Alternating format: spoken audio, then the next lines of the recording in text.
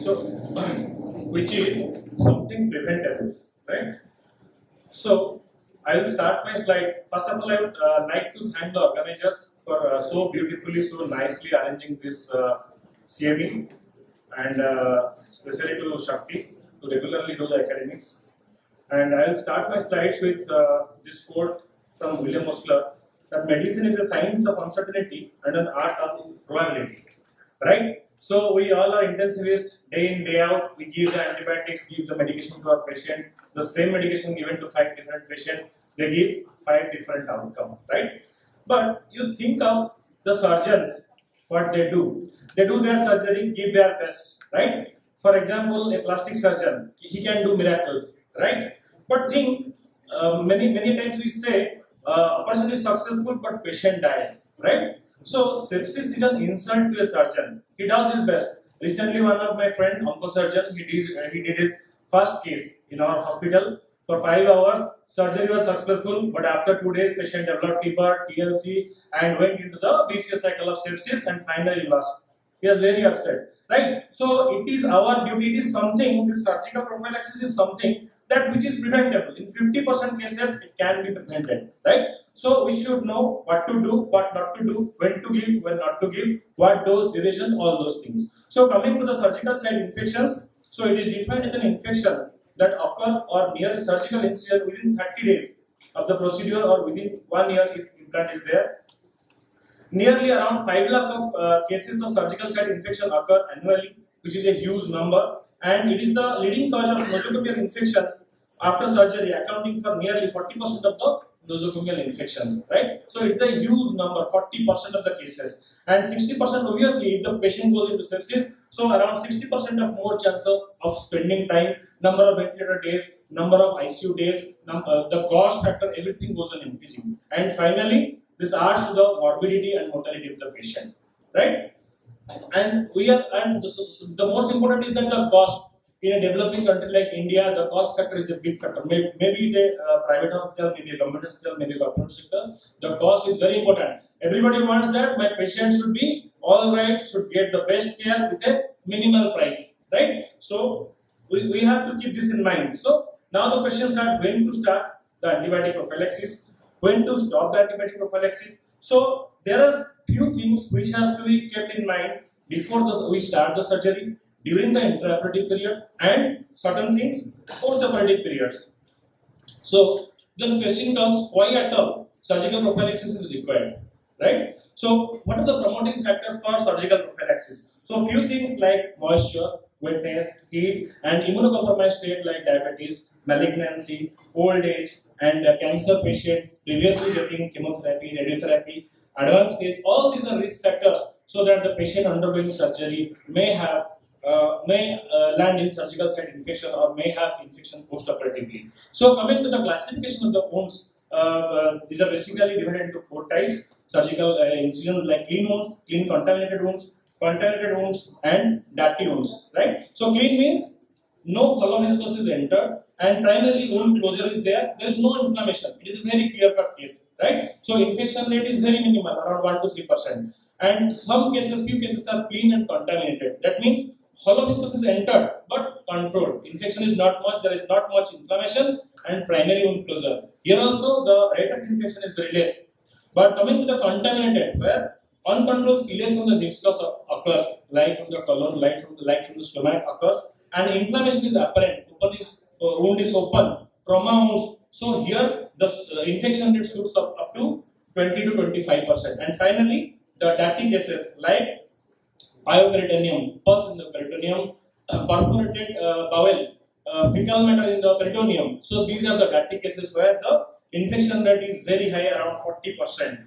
So different things where we can give prophylaxis, where treatment is required, that has to be kept in mind. So the use of antimicrobials for dirty contaminated procedures are not, uh, it is not considered as prophylaxis. Here you require treatment in those cases. So what are our goals? What are our goals for the antibiotic prophylaxis. It reduces the incidence of surgical site infection. It minimizes the patient's normal bacterial flora. Definitely that has to be kept intact, the normal flora. Minimize adverse side effects of the antibiotics. So the narrow spectrum antibiotics should be given.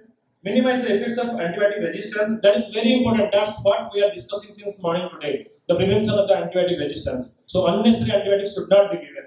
And finally, the cost effectiveness, which is very important. So what are the principles? What are our objectives? Prevent surgical site infections. Finally, morbidity and mortality. The outcome has to be good. Optimize the patient surgical procedure and overall outcome definitely. And select the ideal agent and use in an appropriate way. Work against the pathogens most likely to contaminate site with consideration of the resistance pattern. So you have to keep in mind which site I am going to operate, what is the most common organism at this site of the body, what antibiotic I have to give, whether a broad spectrum antibiotic or narrow spectrum, what should be the cost. So these are our principles. To maximally effective, a relatively high dose of the antibiotics is selected, which yields peak blood level several times higher than the minimum inhibitory concentration of the likely pathogen. So that if you give antibiotic beforehand, the time you give the incision, the surgeon gives the incision, the uh, concentration of the drug, the, the, drug in the blood is the maximum, right? So, and apart from that, the local patterns of wound infections, prevalence of MRSA, sensitivity of the uh, organism in your hospital setup. The, uh, remember, guidelines are always there to guide us, but apart from the guidelines, we have to keep in mind the flora of my hospital, the organism prevalence of my hospital, the resistance pattern of my hospital, the antibiogram. So this, depending on all those things, you have to formulate your antibiotic protocol, which includes the surgical prophylaxis protocol. And once you do the protocol according to your antibiogram, which may again change the next year when the antibiogram changes. So you have to see and time to time you have to audit whatever prophylaxis I have done, whether it is being practiced or not. So this is the uh, WHO global guideline for the prevalence of surgical site infection. Few things I will be going through. Like patient with known nasal carriage of uh, staph aureus should receive intranasal application of mupirocin ointment 2% ointment with or without a combination of chlorhexidine uh, gluconate body wash. So ideally the patient going to OT previously possible, previous day should uh, underwent a bath and mechanical bowel preparation alone without the administration of oral antibiotic should not be used so it is very 2016 guideline is very clear. It should not be used. And in patient uh, undergoing surgery, surgical procedure, hair should not be removed. Previously saving of the patient. Now there is no need of saving of the patient. But if at all if it is required, only it should done with a clipper. And uh, surgical prophylaxis should be administered before definitely at least one or 60 minutes before. And in few cases, if you go for giving infusion, then at least 60 to 120 minutes prior to the surgery it should be given and a single preoperative dose of antibiotic is effective as full five-day course of therapy, assuming uncomplicated. I have shown already clean procedures, clean contaminated procedures, and prophylactic antibiotics should target anticipated organism. That will follow in the my next slides. This is this is from a Journal of Thoracic Disease, which says the best timing for surgical antimicrobial administration is based on a theoretical principle. The peak of antibiotic concentration at the surgical site should be reached at the time of the incision. That I have already told. Thus, the timing depends on the pharmacokinetics, PKPD of each antibiotic, right? Whatever antibiotic you are choosing. And guidelines provide divergent duration uh, comprised between 30 to 60 minutes before the incision, right? That we have already discussed. This is another study which is a uh, retrospective observational study in which antibiotic prophylaxis parameters were uh, assessed retrospectively against recommendation provided by international guidelines. So it was done retrospectively they analyzed they, they analyzed what has been done and what is the effectiveness so what they uh, the result they got so pre-operative antibiotic prophylaxis was prescribed for around 78% of patients 61% of which were recommended recommended and they were given and 39% were not recommended so it was not given of the uh, 72 patients for whom the antibiotics were um, recommended uh, only 26% received inadequate choice of antibiotics. So only giving antibiotics is not enough. You have to give in adequate dose, adequate duration. And 69% received a subtherapeutic dose, so dose was also less, and had improper timing of the first dose. Were given inappropriate second interval. So so many things wrong things are being done. It's not only in this hospital or in this article, in many of those hospitals, these things being done, right? And so overall compliance to the guidelines was achieved only in 15% of cases, right? So these things are very important in our day-to-day -day practice. These are preventable, and time to time audit should be done. And few conditional guidelines recommendations are there, like immunosuppressive medication should not be discontinued prior to surgery. Nutritional formula should be continued. Bathing I have already told, and uh, intranasal migration I have already told. Warming devices should be used in the OT that we use as anesthetist, and uh, uh, coated suture and all those things. Blood sugar, fluid levels, draping gowns, all all those should be done properly. And these are the few uh, antibiotics that are commonly used uh, also in the guideline like cefazolin, cefoxitin, ertapenem, cefazolin, metronidazole combination, and vancomycin, lindagenta, all these things. So we have to review from time to time, use prophylaxis when indicated, and uh, choose an antibacterial active against likely pathogen. Administer antibacterials appropriately and limit the duration. So only single dose has to be given and what to prevent surgical site infections, critical for patient care and requires a collaborative effect. So single dose, why single dose prophylaxis is required? Why only one dose? Because it reduces the side effect. Drug, if you give for one, so the cost is less, the side effect is less, and the total amount of antibiotic used is less, and the workload of the personnel is less, and obviously the wasting wastage of the antibiotic is less. So one dose is sufficient to prevent the surgical site infection. And this the prolonged surgical prophylaxis, what happens? It adds to the only resistance, nothing else. There is no effectiveness. That study I showed you that that proved again. So the key points to be kept in mind: drug administration. So I will summarize. IV bolus should be timed 60 minutes before the skin incision, like when we give for the anesthesia in the OT, general anesthesia we give. So while inducing the patient, we give the antibiotic at least 30 to 60 minutes before. So by that time, anesthesia induction is done, draping, cleaning, everything is done, surgeon comes. So the drug dose has reached its maximum concentration, right? But if the duration of the surgery is more, more than 4 hours, a second dose should be given. Intraoperative, suppose oncosurgery, suppose neurosurgery, suppose spinal surgery, more than 4 hour duration, a second dose need to be given. On these drugs should be given, IV drugs, IV antibiotics should be given. And uh, repeat dose going to give, I, I already told the duration. And second thing is that the blood loss. If the blood loss is more, it is more than 1.5 liter, then also you have to give a repeat dose has to be given. And few lines regarding the antibiotics that most commonly used as surgical prophylaxis like cefazolin, which is a first generation cephalosporin, most commonly used gram positive coverage, more, mostly gram positive coverage, cheap, easily available, high activity against gram positive bacteria, weaker activity against gram negative, and THAP is two hours only, right? Similarly, vancomycin that we use uh, in MRSA cases, most commonly used, and uh, it is a substitute in penicillin allergy patient. Vancomycin uh, is used as a substitute to the um, penicillin group or the cephalosporin groups and MRSA culmination of the infection. Suppose in your hospital there is uh, high cases of MRSA is there, MRSA resistance uh, is there, then you can go for the vancomycin, right? And uh, metronidazole, it gives the anaerobic coverage, and clindamycin, same as uh, metronidazole, gives the anaerobic coverage. And uh, gentamicin, uh, many active against aerobic gram negative bacilli, E. coli, all those things. So you need not remember everything that in which case which antibiotic I should give. So we have to just remember what is the common site and what is the common pathogen there. Like in nasal, Staph aureus, pneumococcus and meningococcus. These are the common organisms. So what antibiotic I will give? Like in GI tract, in oropharyngeal cavity, Streptococcus, pneumococcus and H. influenzae. Like in GI tract, E. coli, Klebsiella, Enterobacter. So these are the organisms. Against these I have to give the antibiotic. So what antibiotic I should give? And similarly for the skin, we know Staph aureus, Staph epidermidis, for the uh, tract, E. coli proteus, and for the hepatobiliary, E. coli.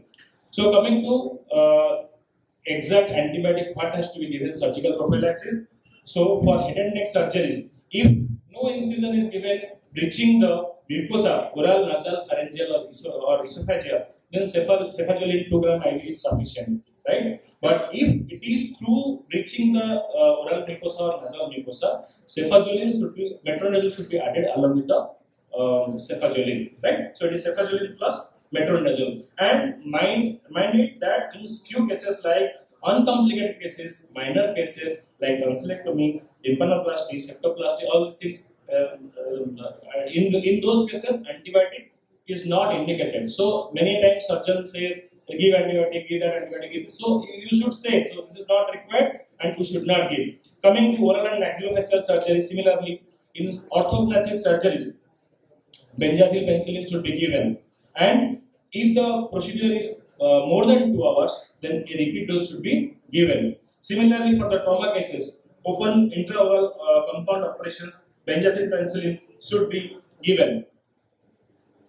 Coming to the GI surgery cases, uh, for dental, duodenal, for gastric, duodenal, and esophageal cases, cefazolin 2 gram IV single dose at 60 minutes before the surgery to be given. And in high risk of MRSA cases, vancomycin can be added. And if it is uh, penicillin cephalosporin resistance, then vancomycin you can give. And in colorectal cases, pancreatic cases, metronidazole has to be added. Metro plus cefazolin plus gentamicin has to be added. Coming to uh, clean cases like breast cases, mastectomy, microdochectomy, all those implants, all those things, cefazolin is a single uh, 60 minutes before the surgery to be given. And uh, in a few cases like wound revision, lumpectomy, prophylaxis is not at all required. So in all cases, it's not meant that you should go for the antibiotics. Coming to the cardiac cases like CABG cases, in CABG, definitely um, the cefazolin 2 gram before incision we give and it is important that it is bit deviation from other cases. So post-operatively cefazolin 2 gram 8 hourly, another two doses has to be given. Many, but keep in mind, many times surgeons say drain is there, we will continue the antibiotic for 3 days, 5 days. No, even if drain is there, it's not recommended that you need to continue the antibiotic because drain is there. So first 2 gram 60 minutes before, then post-operatively 8 hourly, another two dose can be given. And coming to the uh, valvular cases, cardiac valve cases, vancomycin 1 gram IV infusion cefazolin can be given. Along with that, vancomycin should be given for gram positive coverage. And uh, like cases like defibrillator, permanent pacemaker implantation, cefazolin plus um, vancomycin has to be given in those cases. And if it is resistance, then vancomycin plus gentamicin has to be given. Uh, And- uh, one uh, small one additional point in Yes, ma'am. Case. When the CABG case, there is because it's also associated, the antibiotic concentration is also associated with the blood loss. If there is more than 1.5, I have already told them, it's if, in any case also, if your blood loss is more than 1.5 liters, then you need to add another dose. specifically it is designed for CABG and. Right, right. Because there is huge amount of blood loss. And uh, okay, we'll be discussing uh, what about your hospital, what you do for CVG cases uh, once I finish this one. So, uh, in urological uh, cases like uh, laparoscopic procedures, open laparoscopic procedures, cefazolin plus gentamicin has to be given. And uh, in open prostatectomy and uh, robotic cases also, a cefazolin has to be given along with that gentamicin. TURP cases gentamicin or if MRSA uh, resistance is there, then you can go for vancomycin. And uh, for gynecological procedure, hysterectomy, laparotomy, and cesarean section, same cefazolin, the narrow spectrum cephalosporin group, that that's do a wonderful job. And this is my topic is prophylaxis, surgical prophylaxis. So not only antibiotic prophylaxis, apart from the antibiotics, mind it, there are so many other things that also matters a lot for the outcome, like infection control practices in your OT, what you do, how you do the surgeon, the staff, the sisters, and pre-operative preparation. We have already discussed how you prepare the, uh, your patient for the surgery, uh, the the wedding, the all those things, intranasal preparation, all those things. Duration of the procedure and the surgeon technique. Definitely, if a laparos, if a lap patient, 20 minutes or 30 minutes, the surgeon takes two hours. That that that that's definitely going to uh, matter your outcome and comorbid condition, diabetic, malignancy patient, old age patient, 60 year, 70 year cases, skin preparation properly done or not, glucose control, very important, uncontrolled blood sugar patient going into OT. Many a times in ortho cases, uncontrolled blood sugar, we have seen patient arresting on the OT table itself, right? So these matter the outcome, morbidity, mortality, and temperature, hypothermia, maintenance of the temperature of the OT. So few things, these are the things. So always a multidisciplinary approach should be undertaken pharmacological as well as non-pharmacological things to be kept in mind because when you are the anesthetist, when you are the intensivist, everything is in your hand, right? So you can control, you can contribute to the outcome of your patient. And moreover, now everything is evidence-based and uh, Google Gava is there. Anything you do, patient and the attendants are very clever. They will directly search on the Google. So whatever you do, you do through the evidence, but according to the own protocol of your hospital, you do, and so that the best you can give to your patient and the outcome can be better. With this, I finish my slides, and uh, now I'm in this hospital, not in here as I said. Okay, thank you all. How you, uh, ma'am, uh, up? You do regular audit or what? How you see whatever protocol you have made, whether it is being followed or not? So uh, uh, uh, first generation. So we do a surgical audit. So all our surgeries, high risk surgeries, non-emergency surgeries are audited, including all surgeries. It's not the sample. All our CABGs, uh, prosthetic joint infections, including transplants, are audited. And if they are not following with the uh, given guidelines, we have a direct talk with the surgeon and we tell them that because as a um, uh, infection control committee chief, that is to be done by me and my microbiology colleague. Both of us we go and speak to them. Like, see, this is and our rates, uh, our touchwood are extremely low for exercise and classic and 40s. So we tell them, see, this you are if you are operating here, our OT staff and if our, our rates are very low, so you don't need to uh, worry and you don't. Majority of the time, what happens? It's a panic by the surgeon. Right. Nothing should happen wrong. Right. I'm doing a pressure surgery. So we show them the data and it's easy to convince them that our infection control is really good in place. So Right. this you can do only when your infection control is really good, uh, for which infection And that is shown in your results also. Right. unless that you will not to convince the surgeon uh, that nothing will happen wrong by not giving antibiotic. Another one important uh, uh, caveat is there, there are not much of a recommendations, but suppose if you are community acquired, where you are practicing or where is your referral of the hospital. If you have lots of MRSA cases being referred from a community, that your that will tell, will be told by your lab if your MRSA percentage is High. if your MRSA if your MRSA percentage is more than 10%, actually, this is from the NICE guidelines UK. If more than 10%, you are justified in using a resistant gram positive cover like teicoplanin for a prosthetic joint infections because uh, because there are only, mainly the skin uh, pathogens which So you have also a tertiary hospital. You are a tertiary hospital. So do you use tecoplan Uh, regularly or uh, but because you always don't ask for the culture, giving the culture pressure and taking the patient your your referral, your uh, your uh, microbiology data will tell us like how many last one year, how many of MRSA you have received from a community or from the hospital. Our hospital acquired MRSA rates are very low, but our community acquired MRSA rates are around 18 to 20 percent. So uh, if the patient is high risk, like obese patient, patient is on immunosuppression, uh, uh, patient that we, we generally give uh, liv- that leverage to an orthopedic surgeon for prosthetic joint infection to use uh, teicoplanin as a prophylaxis. They use in selected cases. Ma'am, my question to uh, ma'am.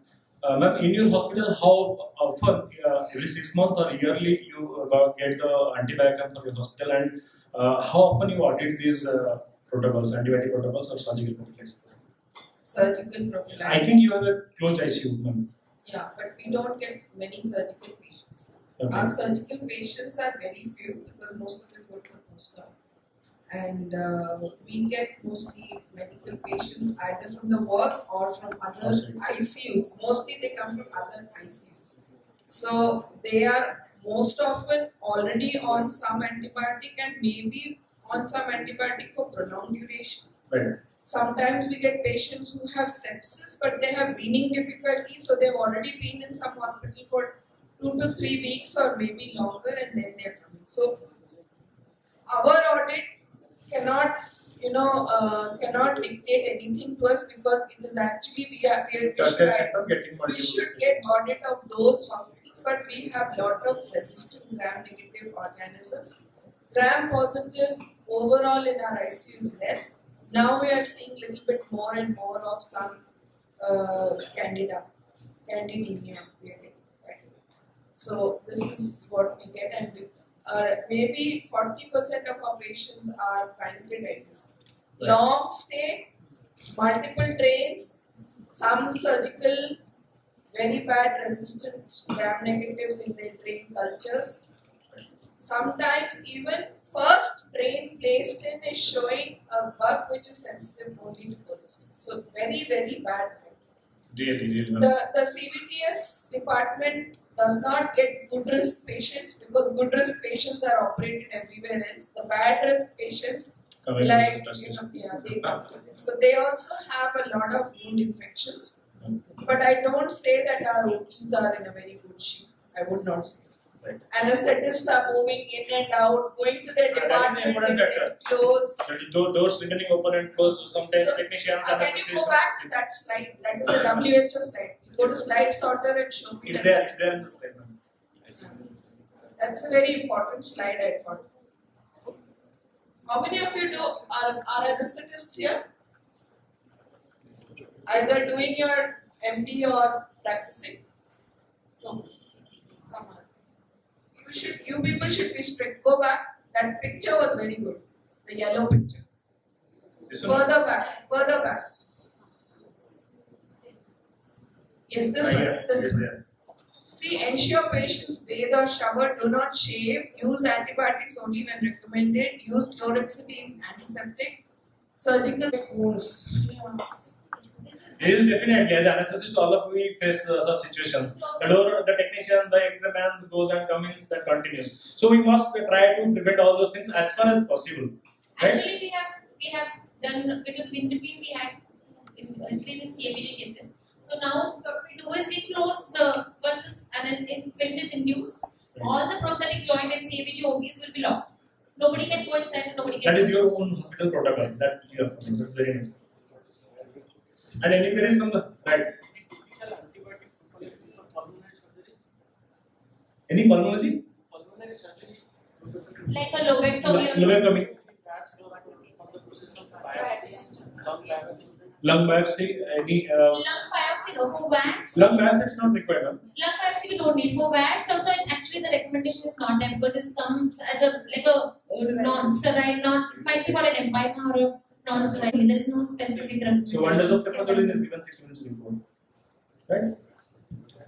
For Any- any more urological procedure, you had no, you had put as a cefazolin as a drug. But for urological procedure, there is a caveat because we get patients who get recurrently operated. So as Gentamicin to be added to that. uh, it will be dictated by the patient's previous culture. Right. So we sometimes we end up if the patient is undergoing uh, RIS or patient is undergoing a PCNL, it sometimes patients end up in getting one doses of meropenem colistin together if the patient has had a previous Previously already received So that will be detected dictated by the previous culture.